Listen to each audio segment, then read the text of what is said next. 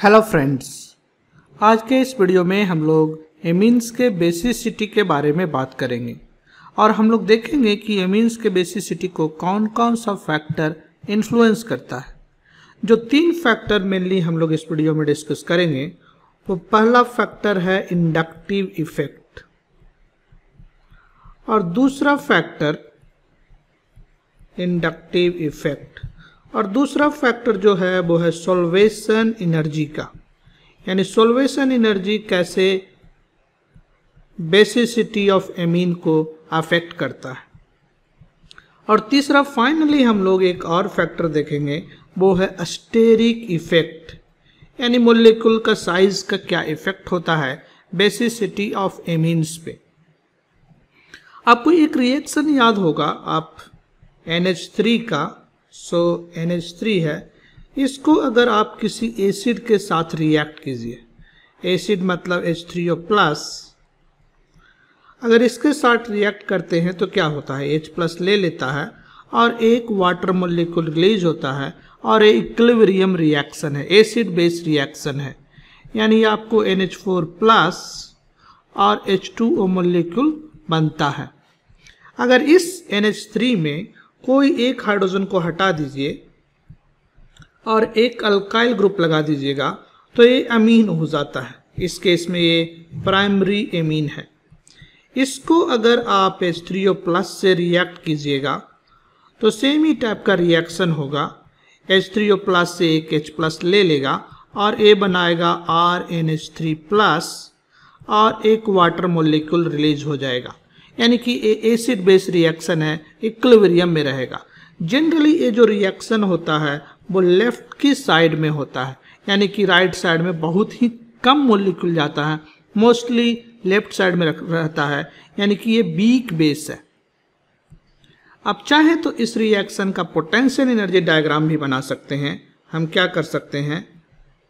By axis पे potential energy और X axis पे रिएक्शन प्रोग्रेस को दिखा सकते हैं। तो एक्स एक्सिस पे आपका रिएक्शन प्रोग्रेस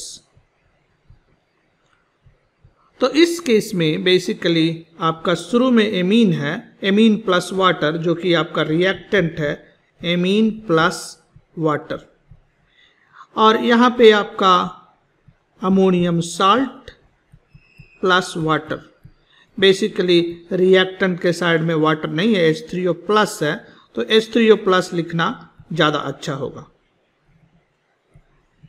तो इस रिएक्शन का पोटेंशियल एनर्जी डायग्राम आप इस दोनों को अगर मिला दीजिए तो ए इस रिएक्शन का पोटेंशियल एनर्जी डायग्राम है। आप कह सकते हैं, यहाँ देख सकते हैं कि रिएक्टेंट का एनर्जी कम है प्रोडक्ट का एनर्जी ज़्यादा है, इसीलिए ये ज़्यादातर रिएक्शन जो है रिएक्टेंट साइड में लेफ़्ट साइड में होता है। अब यहाँ पे एक इंपॉर्टेंट बात ये है कि अगर कोई फैक्टर जो कि R N H three plus को स्टेबलाइज करेगा, वो रिएक्शन को राइट साइड में शिफ्ट करेगा। यानी जो factor R N H three plus यानी अमोनियम आयन को अस्टेबलाइज करेगा वो रिएक्शन को राइट साइड में शिफ्ट करेगा। तो हम लोग कह सकते हैं any factor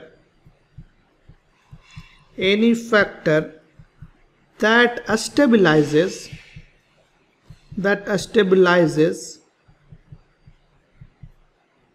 the ammonium ion ion will shift the reaction will shift the reaction right. Shift the reaction right side, या तो दूसरे बात में क्या कह सकते हैं कि इस बेस को एक अच्छा बेस बनाएगा, यानी बेस के बेसिसिटी को इम्प्रूव करेगा। तो जो फैक्टर इसको अमोनियम आयन के स्टेबिलिटी को बढ़ाता है, वो बेसिसिटी को भी बढ़ाएगा। यानी बेसिसिटी क्या हो जाएगा? इंक्रीज हो जाएगा, क्योंकि बेसिसिटी का मतलब क्या है? यानी आपका रिएक्शन जो है राइट साइड में जाना चाहिए। दूसरे शब्दों में इसको ऐसे भी कह सकते हैं, कोई फैक्टर जो R N H two R N H two को स्टेबलाइज करता है, वो रिएक्शन को लेफ़्ट साइड ले जाएगा। यानी बेसिसिटी को क्या करेगा? घटाएगा। तो हम लोग कह सकते हैं any factor that stabilizes stabilizes the amine will shift will shift the reaction left will shift the reaction left और इसका मतलब क्या है? बेसिसिटी को ये क्या करेगा? बेसिसिटी को ये घटा देगा। तो अब कौन कौन सा फैक्टर हो सकता है जो अमोनियम आयन को स्टेबलाइज करे? तो पहला फैक्टर है इंडक्टिव इफ़ेक्ट तीन एमीन यहाँ पे लेंगे, या कहें अमोनिया भी हम ले लेते हैं। अमोनिया के करस्पॉन्डिंग जो कंजुगेट एसिड होगा, यानी अमोनियम आयन कुछ ऐसा दिखेगा। प्राइमरी एमीन अगर आप लें तो उसका करस्पॉन्डिंग कंजुगेट एसिड कुछ ऐसा दिखेगा। सेकेंडरी अमीन अगर लें तो उसका कंजुगेट एसिड कुछ ऐसा दिखेगा। और फाइनली अगर आप एक टर्सरी अमीन लेते हैं तो उसका जो कंजुगेट एसिड है, कुछ ऐसा दिखेगा। आपको याद होगा कि अल्काइल ग्रुप जो होता है, वो इंडक्टिव इफ़ेक्ट के थ्रू इलेक्ट्रॉन डोनेट करता है। तो यहाँ पे देखिए टर्सरी के केस में तीनों अल्काइल ग्रुप जो है इलेक्ट्रॉन को डोनेट कर रहा है, यानी कि इसको स्टेबलाइज कर रहा प्लस चार्ज को स्टेबलाइज कर रहा सो थ्री डिग्री के केस में तीन अल्काइल ग्रुप है जो कि स्टेबलाइज कर रहा। आपका दो डिग्री का अमीन है तो उसमें दो अल्काइल ग्रुप है जो कि अमोनियम आयन को स्टेबलाइज कर रहा। अगर वन डिग्री का अमीन है तो उसमें वन एल्काइल ग्रुप है जो कि इसको स्टेबलाइज कर रहा। और अमोनियम आयन सिंपली इस केस में कोई भी अल्काइल ग्रुप नहीं है जो कि इस आयन को स्टेबलाइज करे। तो कहने का मतलब ये हुआ कि सबसे ज़्यादा स्टेबल कौन हुआ? थ्री डिग्री का जो एमीन है, सबसे ज़्यादा स्टेबल हुआ।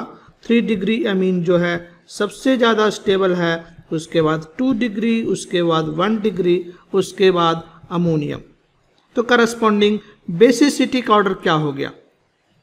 आप कहेंगे जितना ज़्यादा स्टेबल है, उतना ही ज़्यादा बेसिक है। यानी बेसिसिटी का ऑर्डर हुआ थ्री डिग्री का एमीन है, सबसे ज़्यादा बेसिक होना चाहिए। यानी ये है basicity order in fact gas phase में यही ऑर्डर होता है। गैस फ़ेज़ करने का मतलब ये हुआ कि मोलिक्यूल को आपने गैसियस फ़ेज़ में रखा। कोई वाटर नहीं है वहाँ पे, कोई सॉल्यूशन नहीं है। या कहें कि ऐसा सोलवेंट जिसमें कि कोई सोलवेशन नहीं हो रहा, उसमें बेसिसिटी का ऑर्डर यही होगा। यानी थ्री डिग्री का अमीन जो है सबसे ज़्यादा बेसिक होगा। तो ये जो ऑर्डर है, वो गैस फ़ेज़ में पाया जाता है। यानी गैस फ़ेज़ में आपसे पूछा जाए कि कौन सा एमीन सबसे ज़्यादा बेसिक होगा तो आप कहेंगे थ्री डिग्री का एमीन सबसे ज़्यादा बेसिक है, उसके बाद टू डिग्री वन डिग्री और लास्ट में अमोनिया जो है सबसे कम बेसिक है। मगर एक दूसरा फैक्टर जो इन्फ्लुएंस करता है बेसिसिटी को, वो है सोल्वेशन तो पहला फैक्टर जो हमने देखा, वो इंडक्टिव इफ़ेक्ट का फैक्टर था. तो ए फैक्टर हमने डिस्कस किया. पहला फैक्टर जो इंडक्टिव इफ़ेक्ट का था, अब हम लोग डिस्कस करते हैं दूसरा फैक्टर जो है सोल्वेशन एनर्जी का. जैसा कि अभी हमने कहा कि कोई फैक्टर जो अमोनियम आयन को स्टेबलाइज करता है रिएक्शन को राइट right साइड ले जाएगा और बेसिसिटी को क्या करेगा? बेसिसिटी को बढ़ाएगा। तो वाटर मोलिक्यूल जो है, अगर इसको पानी में ये बेसिसिटी आप कर रहे हैं जनरली हम लोग बेसिक रिएक्शन पानी में करते हैं तो क्या होगा? पानी मोलिक्यूल जो है अमोनिया को या अमीन को सोलवेट करेगा। जैसे मान लीजिए अमोनियम आयन है। अमोनियम आयन ए आपका हो गया। इसको पानी मोलिकुल कैसे स्टेबलाइज करेगा? पानी मोलिकुल के पास ऑक्सीजन है तो ए जो है, इसके साथ एक हाइड्रोजन बॉन्ड बना सकता है। इसी तरीके से यहाँ पे एक हाइड्रोजन बॉन्ड बन सकता है। यहाँ पे ओ OH2 जो है, इसके साथ हाइड्रोजन बॉन्ड बना सकता है। ओ OH2 यहाँ पे हाइड्रोजन बॉन्ड बना सकता। यानी कि इस केस में चार हाइड्रोजन बॉन्ड बन रहा है अमोनियम आयन के केस में, और चारों जो हाइड्रोजन बॉन्ड बन रहा है, इसमें जो अमोनियम आयन है हाइड्रोजन बॉन्ड को डोनेट कर रहा है, यानी डोनर है।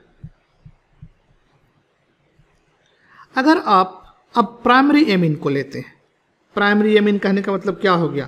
एक हाइड्रोजन को हटा करके आपने यहाँ पे एक अल्काइल ग्रुप लगा दिया। तो करस्पॉन्डिंग जो आयन होगा करस्पॉन्डिंग कंजुगेट एसिड होगा, उसका स्पेसिस का हमने यहाँ पे लिखा है। इस केस में आप बताइए कितना हाइड्रोजन बॉन्ड बना सकता है। इस केस में ए जो है, यहाँ से बना सकता है। ये पानी मोलिकुल को हम लिख रहे हैं O two O H two basically पानी मोलिकुल है ओ को हमने इधर लिखा है ताकि हाइड्रोजन बॉन्ड को बनता हुआ दिखा सके। तो इस केस में तीन हाइड्रोजन बॉन्ड है जो कि बन रहा है।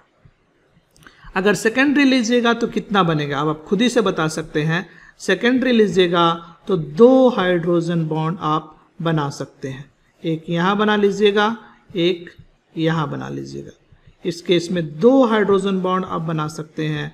अगर आपने फिर टर्सरी लिया तो एक हाइड्रोजन बॉन्ड बनाएँगे। अगर आपने टर्सरी ले लिया, यानी कि तीन अल्काइल ग्रुप है उसमें, एक हाइड्रोजन है, इसके साथ बॉन्ड बना लीजिए तो ए ओ एच टू हो गया। तो इस केस में बेसिकली एक हाइड्रोजन बॉन्ड ही आप बना पाएँगे। तो आप देखिए, किस केस में सबसे ज़्यादा हाइड्रोजन बॉन्ड बन रहा? टर्सरी के केस में। नहीं अमोनियम के केस में सबसे ज़्यादा हाइड्रोजन बॉन्ड बन रहा। तो सबसे ज़्यादा स्टेबल कौन होगा? जितना ज़्यादा हाइड्रोजन बॉन्ड बनेगा, जितना अच्छा से सोलवेट होगा, जितना ज़्यादा बॉन्ड उतना ही ज़्यादा एनर्जी रिलीज़ उतना ही ज़्यादा स्टेबिलिटी यानी जो अमोनियम आयन है, वो सबसे ज़्यादा स्टेबल होगा और प्राइमरी एमिन जो है, वो टर्सरी एमिन जो है, वो एक ही हाइड्रोजन बॉन्ड बना रहा है, वो सबसे कम स्टेबल होगा. तो हम कह सकते हैं, इसके बेसिस पे सबसे ज़्यादा स्टेबल कौन हुआ? सबसे ज़्यादा स्टेबिलिटी का ऑर्डर हम लिख रहे हैं. सबसे ज़्यादा एन एच फोर प्लस उसके बाद R N H three plus उसके बाद R two N H plus R two N H two plus और उसके बाद R three N H plus ये स्टेबिलिटी का ऑर्डर है. जो स्टेबिलिटी का ऑर्डर होगा, वही आपका बेसिसिटी का ऑर्डर हो जाएगा, क्योंकि जितना ज़्यादा स्टेबिलिटी होता है, उतना ही अच्छा बेसिक होता है. यानी बेसिसिटी का ऑर्डर हम कह सकते हैं अमोनियम जो होना चाहिए अमोनिया जो होना चाहिए, सबसे अच्छा base R N H two उसके बाद प्राइमरी, उसके बाद सेकेंडरी, उसके बाद आपका tertiary, R three N H. तो होना चाहिए था अमोनिया सबसे ज़्यादा, बेसिक, उसके बाद प्राइमरी, उसके बाद सेकेंडरी, उसके बाद टर्सरी। तो ए हुआ किसके बेसिस पे? ए हुआ सोलवेशन के बेसिस पे। सोलवेशन के बेसिस पे ए हुआ, और इसके पहले हमने देखा था इंडक्टिव इफ़ेक्ट के बेसिस पे।